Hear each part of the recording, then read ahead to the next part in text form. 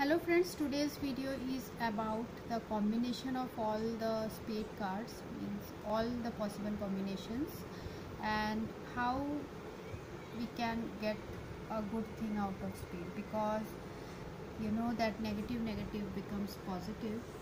So I will also tell you about all the meanings of the cards in this video.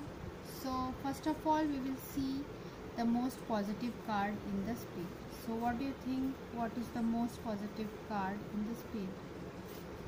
So that is six of spade.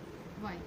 Because six of spade represents that uh, you are moving out of the situation or uh, you are moving into some situation. So depending on uh, the cards we can tell that so here suppose we have this card and in combination with this card. Okay. so we get like this. First we got this nine of spade then we got this six of spade. So it represents that as you know the nine of spade represents uh, grief or a condition where you are very sad or you are very sad and you are very heartbroken. The most uh, uh, deadly kind of grief. That is heartbroken kind of. So when this is preceding when the nine of spade as you know that we always read from left to right. So this represents the past and this is the present. So means that earlier the situation was that this person was in grief but now he is moving out moving out of what? Moving out of this grief. So in this way these two negative have become positive. But if we have got this so it represents that the because of moving out of that situation he is in grief because suppose he is leaving his girlfriend or boyfriend. So that's why he is or he is uh, leaving uh, the place where uh, he used to live. And he is shifting to some new place. Then also because of that he is in grief so when this card is preceding then it means that you are moving into that. But if this is like this situation it is in the uh, future position then it represents that we are moving out of that similarly if I take another card for suppose we have got this and you can easily say because you know that eight of spade is a card of restriction and this is also the card of illness and uh, this is a card of surgery and operations.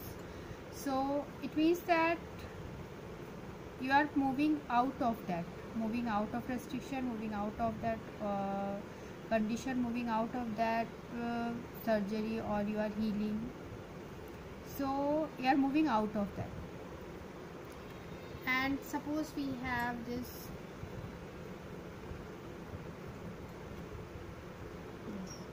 so you know that ace of spade is a card of uh, mind. What is going on your mind and this is also a card of decision. It is a card of beginning and ending a decision that can bring ending and beginning to a situation. So this means that you have made a decision and now you are uh, going towards the future. So here it means that the decision has to be made. So now I will tell you all the possible meanings and uh, the meanings of these cards. If any combination that I am missing and you want to know then write in the comment section about that. So nine of spade you know nine of spade is a card of grief and sadness ultimate sadness with tears.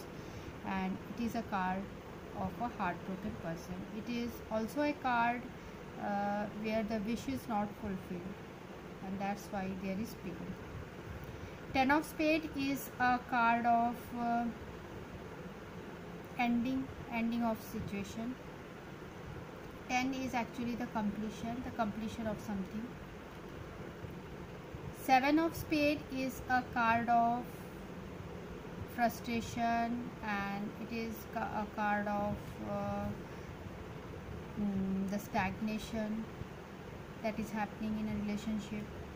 So this is not a good card okay.